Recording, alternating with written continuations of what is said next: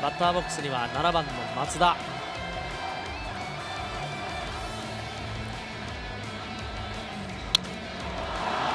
右中間。バックする。バックして見上げた。入った。松田の勝ち越しホームラン。12回の表。松田に一発が出ました。変わった遠野が先頭バッターに打たれました。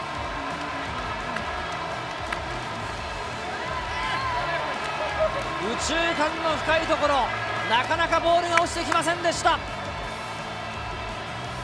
国語からサードを奪った男。いや野村さん高く上がったなと思ったんですが。いやパンチ力ありますよね、えー、なかなか落ちてきませんでしたね。手応えあったんでしょうね。打った瞬間に行けって言って走ってますよね、えー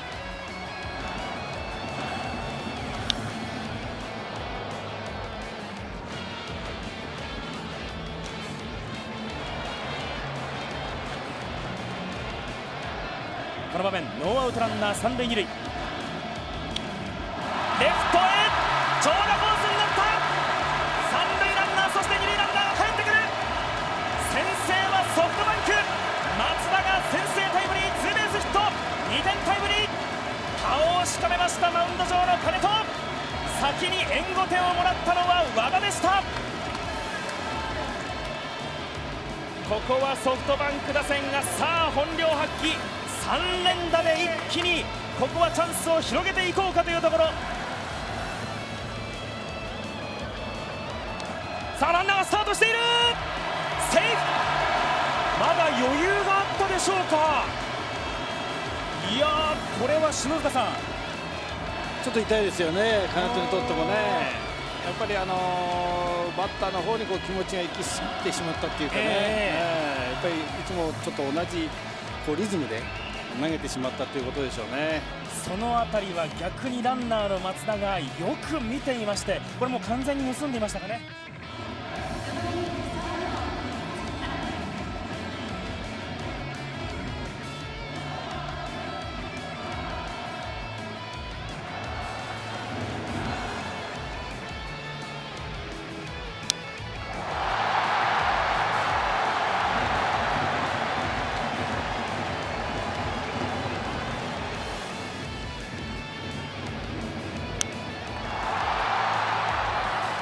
ラケア当たり長野前進してさあ三塁ランナータッチアップでもう一度長野から今度はセーフ今度はセーフソフトバンク1点を先制。これはあの湧きますね、えー、この見どころ素晴らしいですね。長野からストライク返球が続いたんですが今度は松田の走力が上回りました。ギリギリですよ、えー、2つのプレートもね。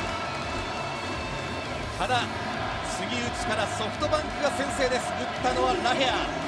去年メジャーリーグでオールスターにも選ばれましたスラッガー。あただ江川さん前に走りながら投げやすい体球体勢でしたが松田は躊躇なくスタート切りました、ね、さっきのは1メーター左側だったですよね、えー、今度はちょっとファースト側にそれましたよね。その分その分ですよね。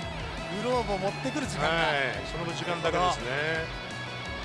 ただ松田がホームを陥れました。タッチアップから先制はソフトバンクホークスです。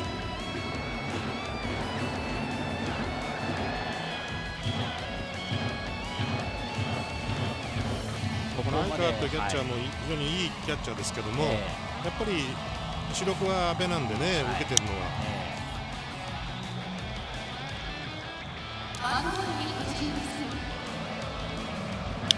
引っ張ったレフトの頭上サードの頭上レフトの左。内川は二塁を蹴って三塁に向かいます。ワンアウトランナー二塁三塁。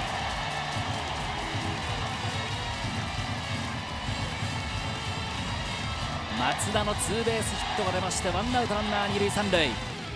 多いんだなというふうに感じるそうですね。あの負けている試合の中でもよく声を出して声を周りにかけてムードを本当によくしてくれるとそんな話をしていました。そうですか。ここは左中間方向にワンバウンドヒットになりました。松田が二塁に余裕を持って到達しました。その姿をベンチから川崎が拍手で送ります。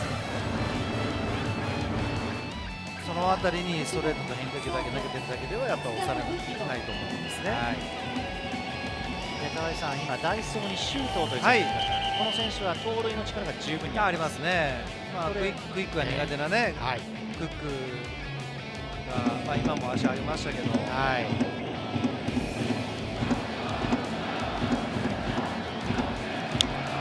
痛烈な当たりはセンターへバックする。伸びていく。なおも伸びてどうだ？入ったツーランホームラン松田。17号。足でかき回しプレッシャーをかけた後はこの熱い男松田がバット一戦振り抜きました。三塁ベース上でパチンと両の手を合わせ今踊るようなランニングフォームでホームイン。突き放したソフトバンクオークス。打線強し。声を聞いていただきましょう。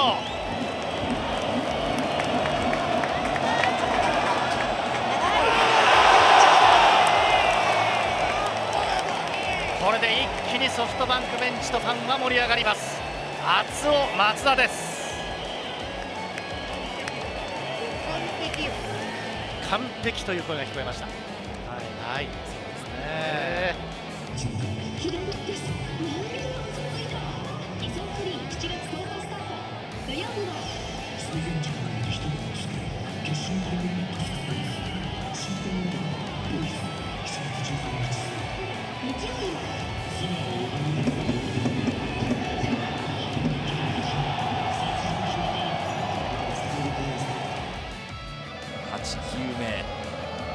打ち返した。センターへ。お声がどうだ？あーっとこれはキャッチできません。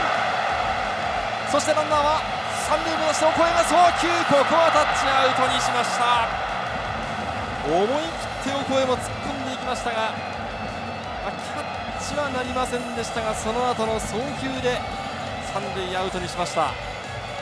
気持ちいいですね。はい、はいまずこの辺り非常に鋭く返しました、はい、いいボールなんですけど、えー、やはり外国人選手ですよね、はい、リーチの長さで届きましたよね。追いつかなかったお声でしたがここで送球しっかりと。ですね、はい、ここで大事なのは大体焦ってしまうんですね。ところがオコエ君はまっすぐ低くという送球をしました。まっすぐ低く。だからアウトになるんですねところがコントロールだけ全然上達しないですよね。あそうですか、はい、ですから2球目を打ってライト方向はあっとこれはエキサイトシートのファンの方が取りに行って大丈夫でしょうか。今のこれはあ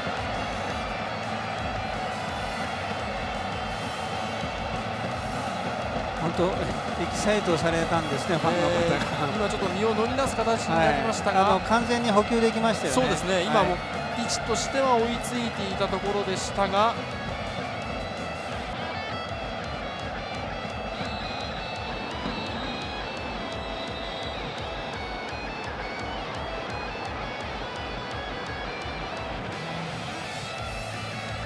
えー、責任審判の笠原です。